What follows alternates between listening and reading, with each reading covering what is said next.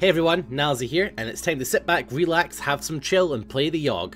Hope everyone out there is doing fantastic. I'm going to pick this girl here and this chap here, and press start. I'm pretty sure I haven't played these two characters in combination before. The Yawhg will be here in six weeks, and no one expects it, not a one of us. We just keep on living our lives week by week, unaware. Hopefully we're going to do well this time. Um, so, yeah, hope everyone out there is doing cool. Me, I just woke up uh, quite recently, actually. Uh, I was up all night. I had music stuck in my head. I had uh, that song by Imagine Dragons just stuck in my head all night. So I was like, screw it, I'm getting up. So I got up, I got out of bed, had a shower, and um, browsed like Reddit for like four hours. And then I went to sleep at about 2 p.m. And well, it was more like a nap, really. I kind of slept like kind of like five hours. Kind of had a five hour nap, you know. And, uh, and here I am, feeling uh, pretty refreshed. Reaper of Souls for Diablo 3 is out later tonight, so I'm feeling pretty uh, jazzed for that. But for now, I'm pretty jazzed about the Yawhg. Now we need to name our two characters. Um, for the girl, we'll call her Cybil. I quite like the name Cybil. And for the guy, I'm thinking Jeff. I quite like Cybil and Jeff. I like those. Now, what should we do first? I think we should... Hmm... What could I do? I'm gonna go to the hospital. Maybe, no. Maybe? Maybe? I could go to... What's, what's, what's she got? What's, she's got all fives, okay, she's, all her stats are fives. I'm trying to think how to win this game. And I'm trying to think what to do. I'm pretty sure if I go there, then I'll start the, the story where I went crazy before. If I go here, I'll get a fortune teller, but I've not got wealth, right?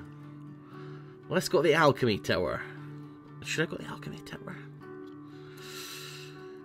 Alchemy tower seems seems smart. So yeah, so uh, Sybil can become a cool ass kind of mage. Okay, brew potion. Spend the week experimenting with different potion brews. Again, two magic and one mind. One day you hear cries for help coming from the next room. Running over to investigate, you see that the alchemists have accidentally created an ooze monster. How do you dispatch the ooze? Oh gosh um, blast it with magic. You pulverize the ooze into puddle with an array of magical spells. The alchemists all cheer! You gain one charm. Super. Okay. Well, you're welcome, alchemists. Right, what are we going to do with Jeff? Jeff, I'm feeling... Hmm. I feel Jeff might be a, cr a, crime fighter kind of guy. But I'm trying to think, if he fought crime, what would he be at the end? Like when you pick your speciality. Hmm trying to think what would be best. Oh. Let's fight crime. Let's do it. You spend the week outsmarting and beating up criminals. You gain one mind, one physique, and one finesse. One night you hear cheering coming from an alleyway. Peering in, you see a crowd of men treeing on dogs, violently ripping each other apart. Oh my god. One of them spots you and asks, Oi, would you like to participate in our little betting game? No, try to stop the dog fights, of course. You try to convince the that dogfighting is wrong. Your words fall on deaf ears. Very quickly, they get very angry with you. One of them walks up to you and pulls out a knife. You don't feel you've got a strength of speed to match this guy. You run away, hoping he won't follow. Oh, God. That wasn't great. Okay, they say the last time it came, the Yawhg devoured houses whole, stole lives, tore families and family members apart. But that was so very long ago. Okay, Cybil, stay at the Alchemy Tower. And um, why don't you... Why don't you brew another potion? Yeah. You spend a week experimenting with different brews. You gain two magic, one mind. One day while on the tower, one of the alchemists asks you to watch his potion while he's out. Soon after leaves, the potion begins bubbling out of control. If you don't do something, it'll explode. I'm going to throw it. I'm going to toss it out the window. I think last time I drank it and it went very badly. You toss the potion out the window and watch its contents empty into the town's water supply. Oh, wait a minute. You take you take off early for the day, hoping no one finds out. Oh dear. Oh, that doesn't bode well if it went into the water supply. Okay, Jeff, your your crime fighting uh, talents weren't great. We're gonna have to we're gonna have to beef you up. Let's compete in a fight, maybe. Maybe that'll kind of you know make him stronger. You spend the week fighting brutes in the arena. You gain two physique and one finesse. One night, on your way home, you spot a rusty dagger on the ground. Uh, hmm. should I do? A rusty dagger? Uh, a rusty dagger? I, have, I don't know if I've had my tetanus shot. Should I leave it or pick it up? Hmm. Pick it up, why not? As you pick it up, you hear a voice from behind whisper, You're not worthy. Oh, okay, it dissolves into black smoke. Within seconds, the blade is gone. You feel like you've learned something having witnessed such impressive magic. You gain one magic in one mind. God, my poor Jeff, he keeps getting into situations where he could do th something very well, but then fails. Okay, it was honest in a heartbeat, or so the story goes. The earth shook, the air went still. Oh god. Okay, we're getting there. Um, hmm. Jeff. Oh, it's Cybil. Uh, what are we going to do with Cybil? Alchemy Tower again? Should, should we put her in the Alchemy again? Um, I like her getting three weeks of experience. This time she can clean it. You spend the week cleaning up noxious chemicals. You're paid one wealth for your labour and gain one physique and one magic. One day an artificer stops by. She is adorned with magical gadgets and gizmos and is followed everywhere by her clockwork spider. The alchemists of the Terra all go out of their way to impress the artificer, offering her an array of potions and elixirs. As she's leaving, she adorns the most charming of the alchemists with a special trinket. The fact that she doesn't choose you is a very humbling experience. Oh no! I was a- I'm a good alchemist. Damn it! Okay, Jeff. What are we going to do with Jeff? Jeff, Jeff, Jeff, Jeff. Jeffy, Jefferino, Jeffy. Um, hmm. So he's quite strong. His finesse isn't bad. Ooh. Hmm. What should we do with Jeff? We could take him to the arena again and fight some more. What do you think of that? Fight in the arena and then go back to fighting crime. Yeah? Compete in a fight. You spend the week fighting brutes in the arena. You gain two physique and one finesse. While wandering around the halls between your matches, you spot your former lover, Kelly. Oh. An awkward exchange happens in which you want to know how they're doing without seeming to care too much. After a few minutes, Jean, one of the most popular fighters in the arena, butts into the conversation. Hey Kelly, sorry to interrupt, but we've got to leave right away if we want to make it to your mother's in time. You say an awkward goodbye as they walk off holding hands. How do you feel? I feel very happy for Kelly, of course. I feel it's good that both of you have moved on. This encounter, despite its awkwardness, was refreshing, and I gained some charm, okay. And then the world was a howling fury. Chaos. Screaming. The sound of all we knew being pulled in half. Okay, so Cybil has quite high magic now. What could she do with it? What could Cybil do with all this magic? She could... What's in the forest again? Chop wood and hunt. Okay. Oops. No, I don't want to do either of these. How do I how do I do uh I don't want to do either. No. No way. I don't have to pick either of these, do I now? Okay, okay. You can chop some wood. Why not? You spend a week cutting down some trees for the village. You gain two physique and earn yourself one wealth. One day in the woods, you spot a six-legged deer drinking out of a river, glowing a fluorescent pink. What? The sight fills you with wonder and amazement, and I gain a mind. As it drinks, you can see another pair of legs growing out of its back.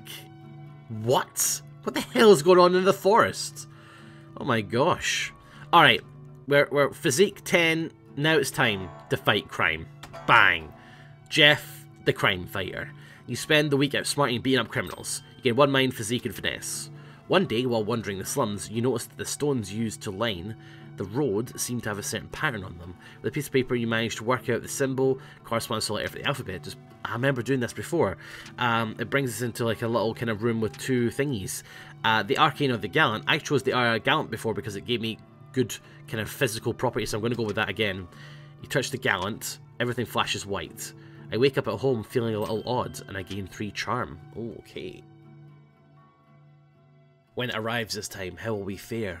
Will we once more rebuild, move on, be strong, or have we forgotten? I haven't forgotten. I have not forgotten. Uh, right. So, Cybil has had some great experience in the Alchemy Tower. She's chopped some wood. She is pretty much ready to take on the world. Hmm. What do we do? I could take Cybil uh, to the... No, Alchemy Tower. Alchemy Tower. Let's keep beefing up her magic. Let's brew some potions. Why not? You spend the week experimenting with different... I don't think I've had the Alchemy Tower late into the game. Different potion brews. You gain two magic in one mind. One day, all the alchemists decide to take a break from work and instead throw a cantrip party. One alchemist waves his hands and produces confetti in front of him. Another spawns a seemingly endless number of doves from his sleeves. Then the old alchemist turns to you to see what you can come up with. A simple trick or a complex trick. My magic is 12. I think I can pull off a complex trick. I think I can. With a snap of your fingers, you bring a chair to life. You sit atop it and ride around the room. Everyone else is quite impressed. And I gain two charm. Wow. I brought a chair to life. That's amazing. It's kind of like Cinderella. Um, Cinder Cybil. Cybil, Cyberella. Oh, yes, Cyberella. I like it. Uh, okay, what am I going to do with Jeff? what am I doing with Jeff? Um, Jeff, Jeffy, Jeffer, Jeffers. Hmm. What could we do with a Jeff? I'm going to go back and fight crime. I'm going to fight some crime. Why not? Fight crime. Spend a week out smarting and beating up criminals again because we're awesome. One mind, physique, and finesse. One night, a small child approaches you with his hands cupped and outstretched towards you. He doesn't say anything, but looks up at you with wide, waiting eyes. I don't have any wealth. You're also broke. You don't have a penny you could spare. You end up hanging out all night, though, talking with the child. Okay, so I chose to give him money, but instead I didn't have any. So maybe, rather than just selecting ignore him, maybe that's a bit better to show him, look, I'm broke as well, you know? Talking with the child, hearing a child's outlook in the world allows you to see things in a slightly different light. And I gain some minds. The Yawhg, it's almost here. Almost. Almost. I think this is the last week, actually, week six. Um, what should we do here? Uh, okay. Mm, Cybil? Get back into the alchemy tower! Oh, yeah. I think she's going to be a mage, isn't she? I, I, like that. I like her being a conjurer. Brew a potion. Uh, experiment with different potion brews, and two magic, one minds. One day you hear one of the alchemists shout, Eureka! When you look over to see what he's done, you spot a small, previously dead ferret come to life. I figured out the antidote to death, the alchemist exclaims. The undead ferret lets out a horrible noise and lumbers about slowly. Oh. What should I do? I don't know, it, seems like quite a discovery, to be honest. I kinda, if it was me, I would be praising him. Um, I mean, it sounds like a zombie. It seems like it's a zombie. So, maybe I should destroy it. But in real life, that's not what would happen. You would be like, wow, you actually did do it, and then you'd find out what he's done wrong. Um, I'm going to praise him. I'm going to praise him. I'm praising him. That's amazing, you say, slightly discomforted by the ferret's presence. That's right, I am kind of discomforted. You didn't hurt the alchemist's feelings. Good. Again, one charm. Okay, well maybe that's going to come back later and uh, help me. Right, so we've got um, crime fighter uh, Jeff is going to fight some more crime. I want him to be the bastion. Maybe there's a police officer thing. I can't remember. He spent the week outsmarting and beating up criminals. You gain one mind, physique, and finesse. One night, a woman walks up to you. Excuse me, sir. Feeling a little lonely tonight? Uh, no. No, thank you. Two wealth? Come on now. Not made of money. Your loss. And that's it. She said. She says, "Your loss." And she leaves. Okay. The storm arrives in the night. By the morning, it still rages. For three full days, the tempest puts us through a grinder, drowns us, crushes us, ruins us. But then it ends. We see the graveyard our home has become, our home. Does anything yet live? Is it, are we past saving? I don't think so. I think we can save you. Now, we want, um... What do we want here? Cybil, you can be the conjurer, huh? Absolutely. It's actually, I think it was there already. Conjurer, yes. You take it upon yourself to conjure up supplies for the town. With your magic, you summon supplies of the highest caliber. With little effort, you're summoning high quality lumber and food from out of nowhere. This helps with rebuilding efforts significantly. Fantastic. Um, the town drunk. Why is it auto-selected the town drunk? That's, hmm. Physique 13, so I'm going to go builder. I'm not going to go the town drunk. Well, maybe town drunk would help, I don't know. Maybe like the town drunk cheers people up. Maybe I should embrace that. But I'm not a drunk. I'm physique, I'm high physique and high finesse. But I've not got high charm, which is why I'm avoiding the leader. What would a smelter be? What would a tailor be? Finesse high, I think, maybe? What would a smelter be? High physique, maybe? Hmm. Builder. I'm going to go high... Builder seems seems logical with physique. You take it upon yourself to help rebuild the town by hand. You rebuild homes at breakneck speed, impressing the rest of the survivors. This helps the rebuilding effort significantly. Oh, two significantly. Oh, maybe. We might have we might have done this. And so, we set about our tasks once more living our lives, this time in a way we might never have expected or even wanted, but in the end. We flourished! Towers, once wrecked and ravaged, rose towards the skies. Trees again took root, then blossomed. We all blossomed. And though it took a long while, and though it took a lot from us, our future is bright. Should the Yawhg ever return, we will be ready. Oh, that sounds like a good ending!